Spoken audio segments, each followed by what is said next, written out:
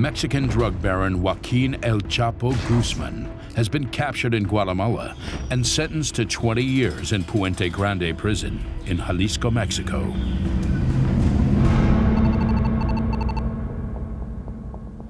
On the evening of January 19, 2001, a guard makes his usual rounds through the corridors of Puente Grande.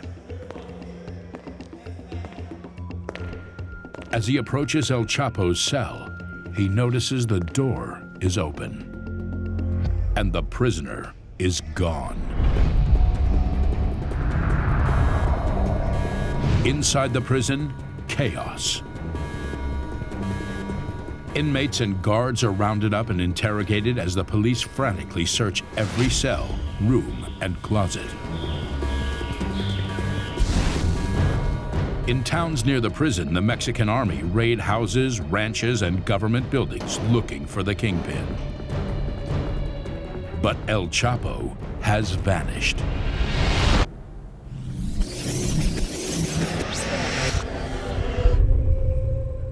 Just a few hours earlier, at around 9.45 p.m., Francisco Rivera, a prison administrator, opened the cell and the kingpin jumped into a laundry cart.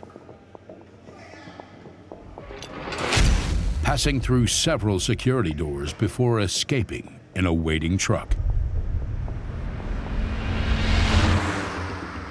After eight years behind bars, El Chapo is now a free man. Making up for lost time, the drug lord immediately tackles unfinished business.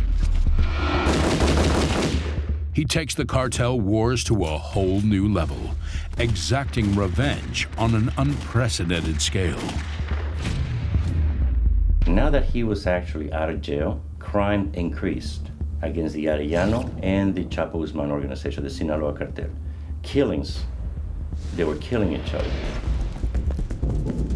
It was, okay, well, you're gonna kill 10 of my people, I'm gonna go and behead 50 of yours, and then I'm gonna pile them up on the outskirts of a town.